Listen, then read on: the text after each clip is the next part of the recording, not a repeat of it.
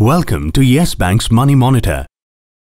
With all your accounts added, you can see all your transactions sorted however you want them by date, description, category, account or amount.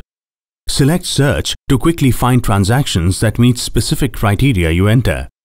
By clicking on individual transactions, you can reassign the expense criteria by selecting a new category from the drop-down menu.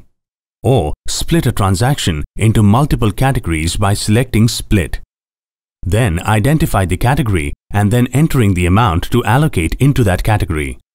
To create a subcategory, select Manage Subcategories from the Manage menu and then enter the name of the subcategory that you would like to create.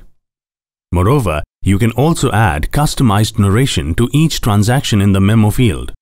This will be of great use to you while referring to the transactions in the future or adding comments to it when it is time to file your taxes.